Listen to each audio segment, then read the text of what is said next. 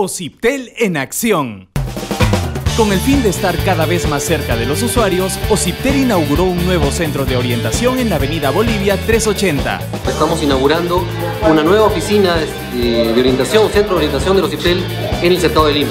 El gran esfuerzo que está haciendo eh, Ociptel para acercarse al usuario es muy importante. No es solo para venir a presentar quejas, reclamos, expresar el malestar, sino es también fundamentalmente un lugar para venir a recabar información. Sepan sus derechos y sepan que hay un ente regulador que los protege y está a la espera de cualquier consulta que ellos desean hacer.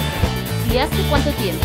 Más o menos tres meses, señorita. ¿Y ya pagó este año? Le agradezco bastante a Oxitel que nos den esa oportunidad al usuario de que nos brinda esta orientación. Y me siento satisfecha ¿no? de que nos puedan ayudar y brindar su apoyo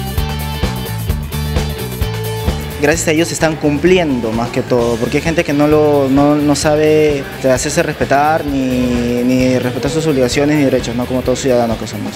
Un usuario informado es el mejor defensor de sus derechos. Ociptel te ayuda, te orienta, te informa.